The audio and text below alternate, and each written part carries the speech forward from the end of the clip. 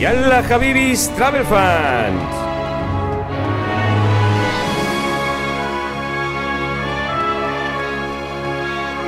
Bienvenidos a una civilización de hace más de 4.000 años.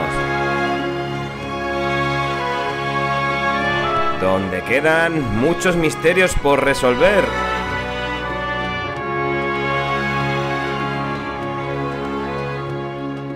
Pero hoy en Miranda World Travels...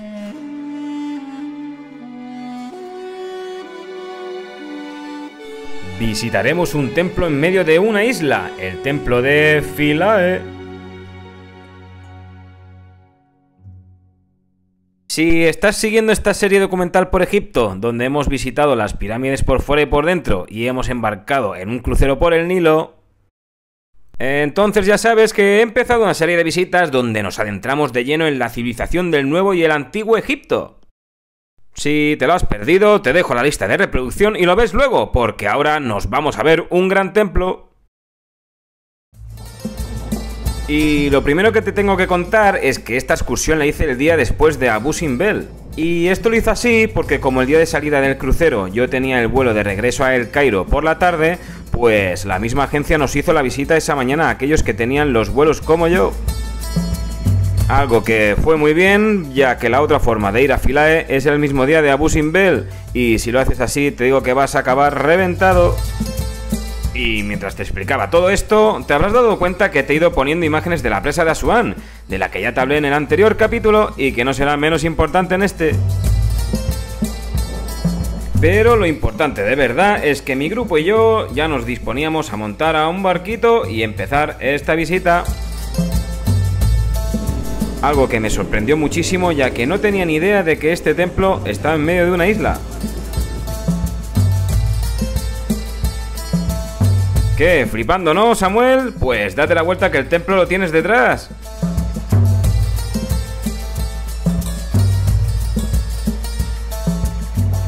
Al llegar, mi guía me cuenta que el templo no está en su ubicación original, sino que estaba en la islita que vemos en las imágenes.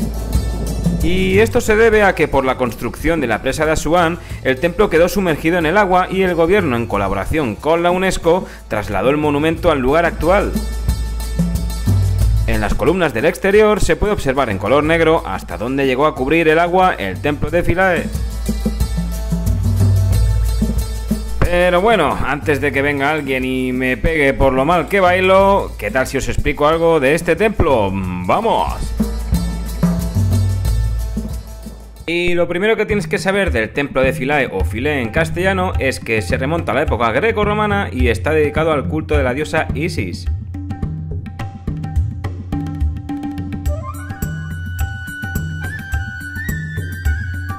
Y si es por mí, ¿qué tal si vemos el templo por dentro después de este chiste tan malo?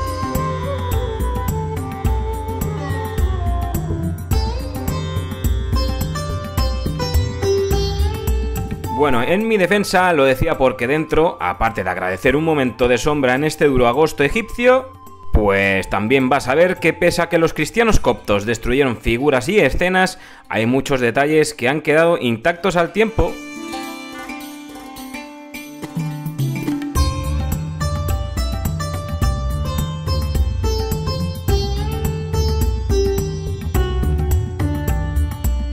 Y muchos, muchos gatos, los cuales son más recientes, ¿eh? Estos no tienen 3.000 años, digo yo, claro. Más dentro del templo, aún si cabe, encontramos escenas religiosas en honor a la diosa Isis.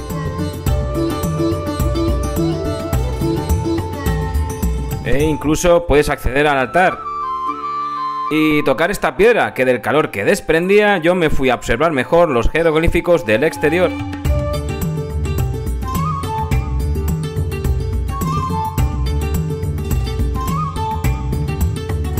Y sé que me repito en nombrar a la diosa de este templo, pero es que fue tal la influencia de Isis en el Mediterráneo que su veneración perduró al Imperio Romano hasta el año 535 después de Cristo.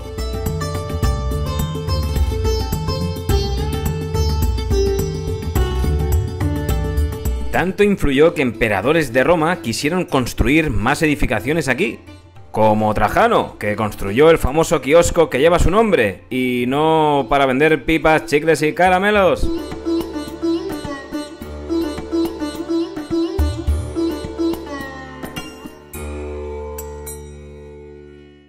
Qué pasada, ¿eh? Nada, es que se me ha quedado una musiquilla egipcia la cabeza y la estoy cantando todo el rato. Bueno, pues te dejamos ahí con tu musiquita mientras el resto nos suscribimos al canal y le damos like a este vídeo. Recordarte que si vienes en crucero tendrás tiempo para disfrutar el templo por tu cuenta y perderte por los pasillos y rincones del recinto. Y creo que es algo que debes hacer porque Philae, el templo en medio de una isla, vale la pena. Y esto no acaba aquí, porque a la vuelta en barca hasta nuestro autocar, el cual nos llevará de vuelta a Asuán, nuestro guía nos dice que haremos una última parada. Aunque antes yo aprovecharé para tocar el agua del Nilo, que para mi sorpresa está muy fría. Al llegar a Asuán me doy cuenta que la última parada es ni más ni menos las esencias y perfumes del magnate Mohamed Al-Fayed. Ya sabía Samuel que no te ibas a ir hoy sin hacer la turistada. Pero bueno, yo me relajé y me puse a ver cómo hacían artesanalmente los recipientes de cristal.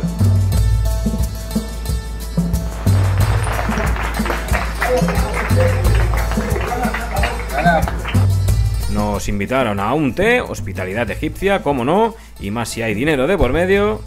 Y lo que me gustó es que nos dejaron oler esas esencias sanatorias y esos perfumes de los que tanto se habla que luego mandan a París.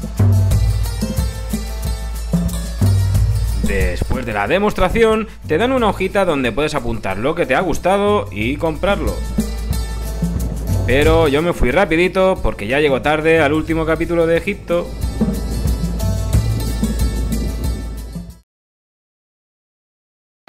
Y prepárate porque en el último capítulo veremos los puntos de interés más importantes de El Cairo y viviremos el caos de esta ciudad de 25 millones de habitantes. No te lo pierdas, Battlefan.